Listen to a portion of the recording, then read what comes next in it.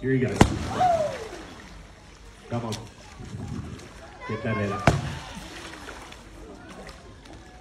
All right. Now he's going to take that little wing there back into the water and chomp it a few times. And then what he's going to do is stick his head up like that and swallow that food on.